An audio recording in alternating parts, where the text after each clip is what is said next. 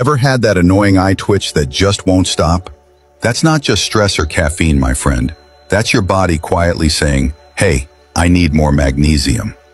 But that little twitch isn't the only signal.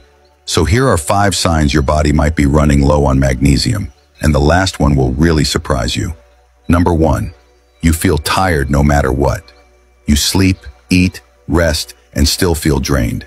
That's because your cells can't produce enough energy without magnesium. It's like your battery's always running low. Number two, your heart sometimes skips a beat or feels like it's racing for no reason.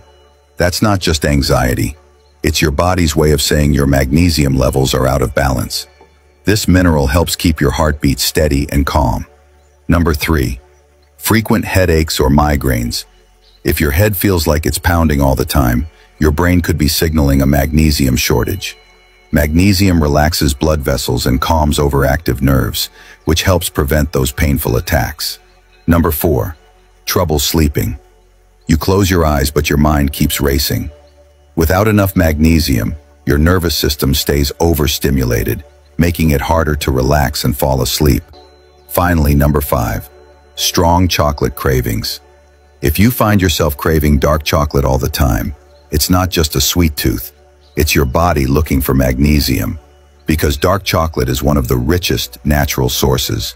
So don't ignore these gentle warnings. They're your body's way of asking for help. Drop a comment if any of these sound familiar, and follow me for more simple, science-based health tips.